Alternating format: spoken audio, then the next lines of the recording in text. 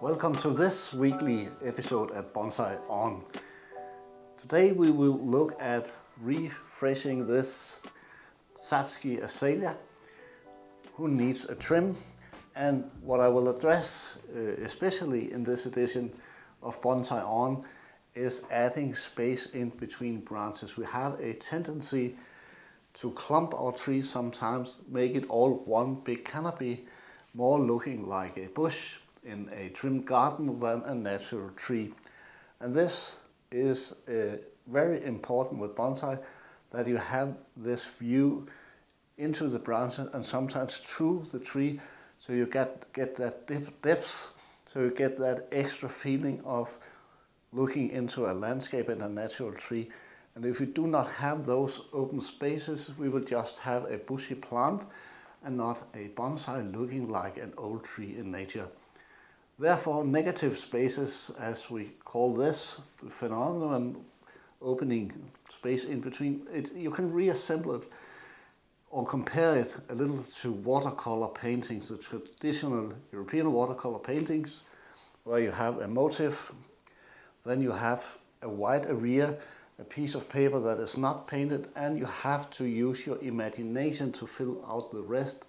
It is a bit the same with negative spaces at a tree, you begin to sense the landscape, get the feeling of the nature surrounding it, even when you can't see it, because we are doing it uh, or forming a tree that gives that uh, sensation is a wrong word because we're not using our nose for that, but gives that sense and expression of a natural piece in nature.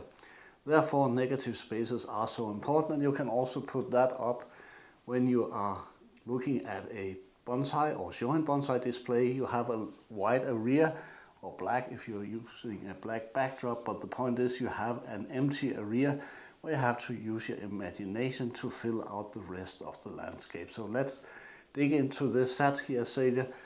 We are needing to trim it, we're needing to wire it a little because this piece has been growing for some years now and needs some attention. What is produced in 2021 is now showing up as flowers in 2022.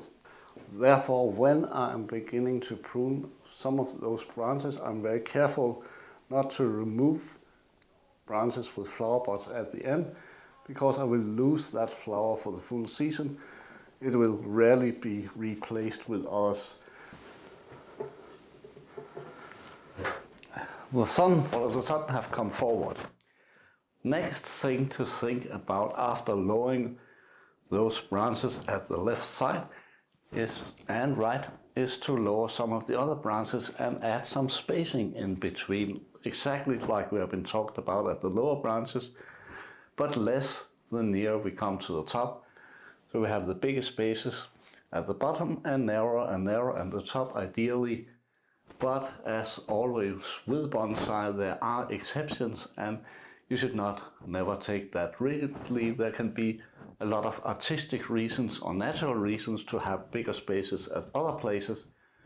Use your imagination to determine how this should be done.